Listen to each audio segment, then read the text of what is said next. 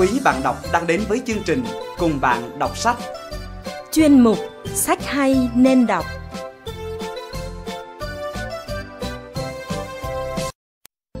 Quý bạn đọc thân mến Có thể nói sự tồn tại của sự sống, của hành tinh, của mỗi quốc gia dân tộc đều luôn có những sự chuyển biến mạnh mẽ. Bên cạnh những mặt tích cực đi cùng với sự phát triển của xã hội, nâng loài người lên những tầm cao mới trong sự phát triển ồ ạt của khoa học công nghệ hiện đại thì những thói quen, những hành động xấu vẫn còn đang tồn tại ở mỗi cá nhân, mỗi quốc gia lãnh thổ đã để lại không ít hậu quả sau này. Và chính chúng ta, chính mỗi con người, mỗi đất nước nếu biết hạn chế và từ bỏ dần những thói quen, những hành động xấu thì chắc chắn rằng những điều tốt đẹp đang chờ đón ở phía trước. Đó cũng là quy luật nhân quả không bao giờ sai được. Chuyên mục sách hay nên đọc kỳ này xin giới thiệu đến quý bạn đọc tác phẩm Muôn kiếp nhân sinh của tác giả Nguyên Phong, sách do nhà xuất bản tổng hợp Thành phố Hồ Chí Minh ấn hành năm 2020 với độ dày 388 trang, khổ giấy 21 cm. Sách Muôn kiếp nhân sinh là tác phẩm do giáo sư John Vũ Nguyên Phong viết từ năm 2017 và hoàn tất đầu năm 2020, ghi lại những câu chuyện, trải nghiệm tiền kiếp kỳ lạ từ nhiều kiếp sống của người bạn tâm giao lâu năm. Ông Thomas, một nhà kinh doanh tài chính nổi tiếng ở New York, những câu chuyện chưa từng tiết lộ này sẽ giúp mọi người trên thế giới chiêm nghiệm, khám phá các quy luật về luật nhân quả và luân hồi của vũ trụ giữa lúc trái đất đang gặp nhiều tai ương biến động khủng hoảng từng ngày. Muôn kiếp nhân sinh cung cấp cho bạn đọc kiến thức mới mẻ, vô tận của nhân loại lần đầu được hé mở cùng những phân tích uyên bác, tiên đoán bất ngờ về hiện tại và tương lai thế giới của những bậc hiền triết thông thái. Đời người tưởng chừng rất dài, nhưng lại trôi qua rất nhanh, sinh vượng suy tử, mong manh như sóng nước. Luật nhân quả cực kỳ chính xác, chi tiết, phức tạp, được thu thập qua nhiều đời, nhiều kiếp. Liên hệ tương hỗ đang xen chặt chẽ lẫn nhau. Không ai có thể tính được tính đức này có thể trừ được nghiệp kia không? Không ai có thể biết được khi nào nhân sẽ trổ quả. Nhưng một khi đã gây ra nhân thì chắc chắn sẽ gặt quả. Luật nhân quả của vũ trụ trước giờ không bao giờ sai. Trong muôn kiếp nhân sinh, tác giả đưa người đọc bước vào cuộc du hành thám hiểm vượt không gian và thời gian. Từ cuộc gặp gỡ tiền định tại Đài Loan của giáo sư John Vũ với Thomas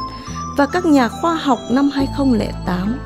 chúng ta sẽ được trực tiếp trải nghiệm hành trình nhân quả luân hồi vô tiền khoáng hậu qua nhiều đời nhiều kiếp của Thon Mát,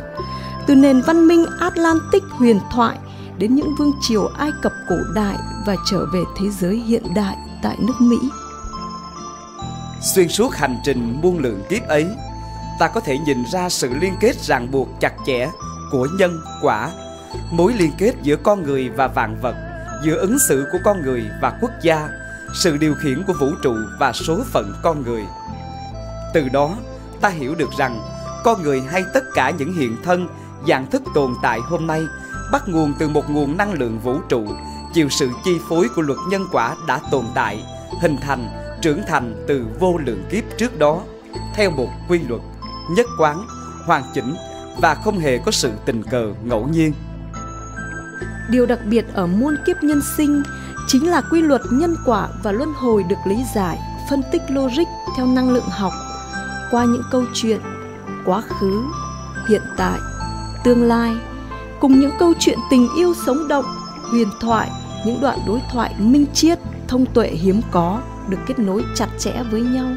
tạo nên một hành trình chiêm nghiệm, khám phá tâm linh, luân hồi nhân quả có một không hai cực kỳ bất ngờ và lôi cuốn. Đang xen trong muôn kiếp nhân sinh là những lời tiên tri, phân tích bất ngờ về tương lai loài người, vận mệnh các quốc gia, sự luân hồi của các nền văn minh và hành tinh. Đây là quy luật thành, trụ, hoại, diệt mà không một ai, không một quốc gia nào ngoại lệ cả.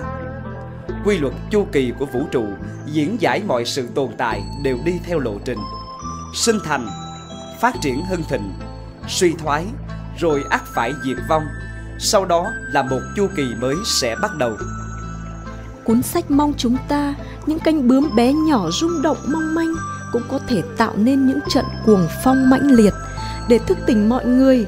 tương lai của mỗi con người, mỗi tổ chức, mỗi quốc gia và cả hành tinh này sẽ ra sao trong giai đoạn sắp tới là tùy thuộc vào thái độ ứng xử, nhìn nhận và thức tỉnh của từng cá nhân, từng tổ chức, từng quốc gia đó tạo nên. Nếu muốn thay đổi, cần khởi đầu bằng việc nhận thức, chuyển đổi tâm thức, lan tỏa yêu thương và chia sẻ sự hiểu biết từ mỗi người chúng ta trước. Thông điệp quan trọng nhất của muôn kiếp nhân sinh là nguồn gốc cách thức vận hành của luật nhân quả và luân hồi của vũ trụ. Qua cuốn sách này, người đọc có thể nhìn nhận lại về vai trò của cá nhân mình trong cuộc sống xã hội hiện nay. Dường như nhịp sống hiện đại vội vã đã cuốn chúng ta vào trong vòng xoáy của nó. Để rồi bây giờ, ta chợt thấy mình cần phải sống chậm lại hơn,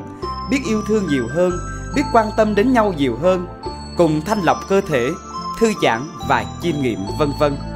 để tìm về những giá trị đích thực của cuộc sống, của tâm hồn. Hãy cười nhiều hơn, học cách hy sinh, buông bỏ và biết gác lại những sân hận giữa đời thường. Chuyên mục sách hay nên đọc, chương trình cùng bạn đọc sách xin được trân trọng giới thiệu tác phẩm Muôn kiếp nhân sinh. In space, make a better place.